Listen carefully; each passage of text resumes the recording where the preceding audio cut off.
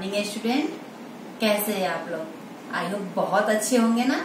घर पे रहते खूब खेलते और खूब पढ़ाई करनी है। करनी है ना घर पे रह के? चलिए, आज की वीडियो में आपने पिछली वाली वीडियो में क्या सीखा था? बड़ी संख्या पे गोला लगाना। और आज की वीडियो में क्या सीखेंगे? छोटी संख्या पे गोला लगाना। ओके आपको पहचान हो गई ना छोटी संख्या और बड़ी संख्या? जो ज़्यादा होता है वो बड़ी संख्या और जो कम होता है वो छोटी संख्या। तो चलते हैं आज हम छोटी संख्या पे गोला लगाएँगे। छोटी संख्या पे घेरा बनाइए बीस और दस। इसमें कौन छोटा है, कौन बड़ा है? जो ज़्यादा होता है वो बड़ी संख्या और जो कम होता है वो छोटी संख्या। तो यहाँ पे दस कम है तो दस छोटी संख्या तो इस पे गोला लगा है। इसी तरह यहाँ पे देखेंगे छ और चार। छ और चार में कौन बड़ा है, कौन छोटा है? अगर आपके हाथ में छह टॉफी है और दूसरे हाथ में चार टॉफी है तो कौन ज़्यादा हुआ और कम हुआ? छह ज़्यादा हुए और चार कम हुए। तो हमें लगाने क्या है? छोटी संख्या पे घेरा जैसे जो कम होता है, वो छोटी संख्या होती है। ऐसे यहाँ पे दस और बारह।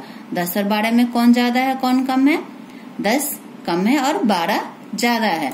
तो हमें छोटी संख्या पे गोली लगानी है। इतना मतलब दस पे गोला लगाना है। ग्यारह और नौ।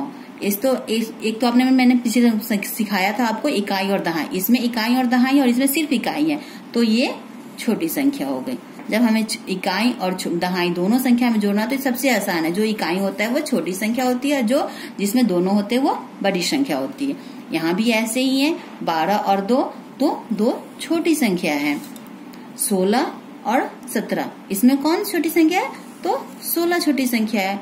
नौ और दस में नौ छोटी संख्या है, पंद्रह और तेरह में तेरह छोटी संख्या है। तो आपने सीख लिया छोटी संख्या पे गोला लगाना ना? और आपको मज़ा भी आया। तो घर पे बैठ के आप अपने बुक का, गणित का जादू जो है, उसमें पेज नंबर 82 में ये क्वेश्चन आंसर है, जो आप घर पे बैठ के अपने बुक में बनाइएगा। Okay, bye.